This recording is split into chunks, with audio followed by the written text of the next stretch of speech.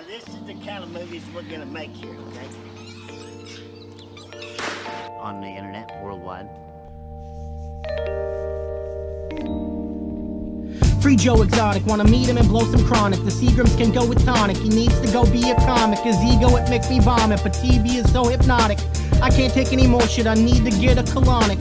So what he does a lot of meth and blow shit up. I watch him all day in quarantine while I'm posted up. Binging every episode since I started the shit. We need a presidential pardon and shit. I was wondering if you've seen the show and if you have any thoughts on uh, pardoning uh, Joe Exotic. Which son? Must be Don. I don't know. I know nothing about it. He has 22 years for what? What did he do? Well, I, Are you are you recommending a pardon? I'll take a look. Is that Joe Exotic? That's Joe Exotic.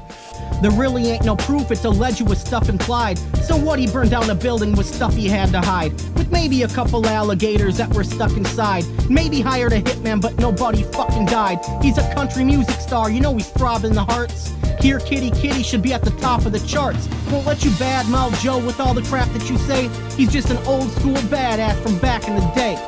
Got a couple husbands that aren't actually gay. I guess the cat's money and meth get him acting that way. He's just a businessman, he got tax to pay. Employees are free to leave, they don't have to stay. He's a real gentleman, super classy and hey, waited a whole two months to remarry when Travis passed away. I guess I should say shot himself in the head though, on purpose or accidentally. I guess we'll never know. PETA can fuck themselves, we know they are pissed off. Only one employee got their arm ripped off. OSHA would say it's a safe working environment.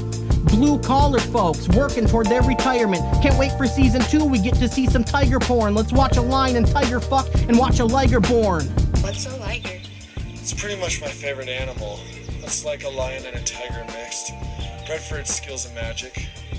Poor Joe lost his zoo, ended up locked in the gates. Got a mailbox full of snakes for all you shit talking fakes. When's Joe getting out? That's what the people are asking. If anyone's to blame, it's Carol, Carol fucking fucking Baskin. Baskin. He would have made the best president. The people want Joe. The best since Dwayne Elizondo, Mountain Dew, Herbert Camacho. Shit. I know shit's barren with all that starving bullshit. And the dust storms, and we running out of french fries and burrito coverings. Yeah. But I got a solution. That's what I thought. Just think of all the shit that we can watch and stream alone. We need a new distraction because people can't leave home. I want exotic jackass, call Johnny and Steve-O. A brand new 3D reality TV show. So when's he getting out of prison? Let the people know.